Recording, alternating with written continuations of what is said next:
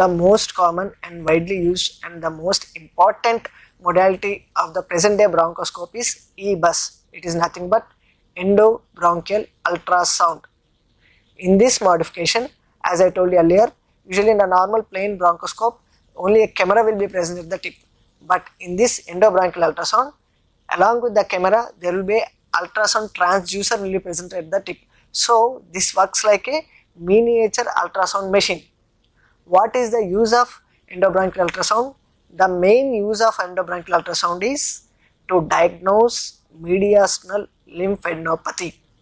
So this mediastinal lymphadenopathy, it is not accessible normally. In the good olden days where EBUS was not available, there used to be either if it is a subcarinal node that is station 7, we used to do a blind lymph node FNAC or there used to be mediastinoscope, a surgical procedure which was more invasive and more morbid associated procedure.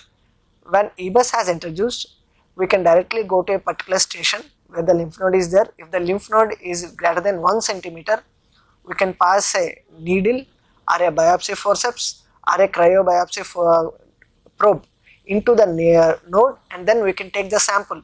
The yield of EBUS guided biopsy or FNAC is up to 95 to 99 percent. So besides mediastinal lymphadenopathy, it can also be used to diagnose any masses surrounding central masses. That means EBUS can only be used whenever the lesion is central, that is around the airways. If the lesion or the particular node is away from the central uh, part, then EBUS will not be of any use. In that case, CT guided biopsy will give results. So coming back to EBUS, so mediastinal lymphadenopathy is most commonly seen in tuberculosis, cancer, sarcoidosis and some other rare forms of infection like histoplasmosis, coccidiomycosis. In cancers also, lung cancer including squamous cell carcinoma and lymphomas and various metastatic carcinomas are included. So coming to uh, other uses, if there is any lung abscess which is very near to the central airway, you can drain the particular abscess or cyst through the EBUS port. So how does getting the sample will increase the yield of a procedure.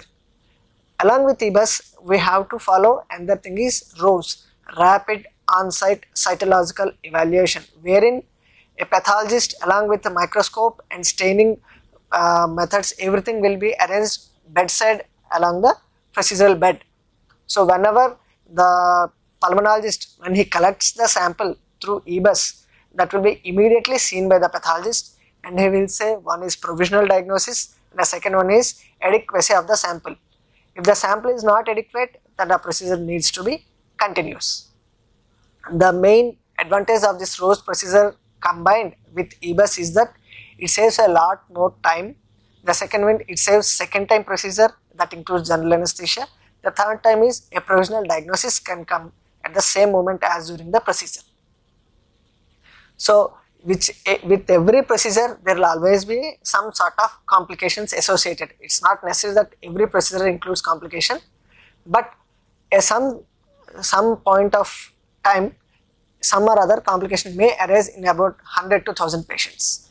Both in bronchoscope and EBUS, the most complication is bleeding. Whenever we do a procedure, whenever we puncture the airway or whenever we uh, take a biopsy, some sort of bleeding is common that is very minimal and it can give control instantly. The second one is pneumothorax which is very rare, pneumomediastinum it is also very rare wherein air escapes from airways into lung or into the mediastinum. The fourth one is infection. Infection may spread if the bronchoscope instrument is not properly cleaned or maintained. Other uses, uh, other complications, sometimes patient may go into a respiratory arrest because of vasovagal attack and it is very very very very rare and bronchoscope along with EBUS is a very safe procedure and it is a very useful diagnostic modality. Thank you.